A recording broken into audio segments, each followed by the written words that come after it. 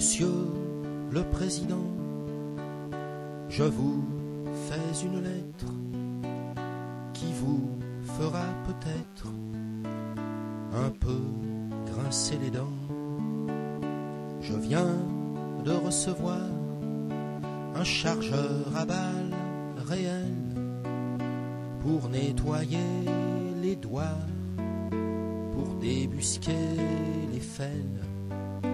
Monsieur le Président, je vous rends mon fusil et mon chargeur aussi, avec les balles dedans. On veut que j'aille pacifier, mais on donne une pétoire. Je trouve ça contradictoire et je préfère pas m'y fier. Monsieur le Président, je suis pas un déserteur. S'il faut verser mon sang, c'est pas ça qui me fait peur. Si demain ma patrie risquait d'être asservie, je reprendrais un fusil,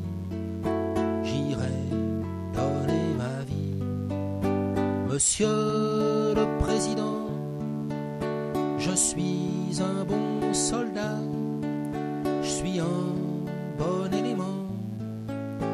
Les chefs sont contents de moi, je veux bien faire l'armée, mais ce pays-là n'est pas le mien. Je tirerai jamais sur mon frère algérien, inspiré cette fière chanson. C'est un soldat français qui a choisi la prison. C'était il y a 50 ans, dans une guerre perdue. Il avait défendu l'honneur des pauvres gens. Aujourd'hui,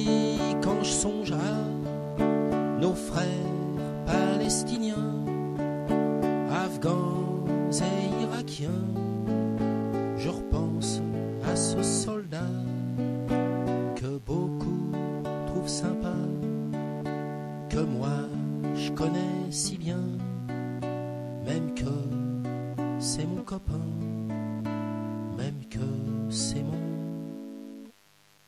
papa.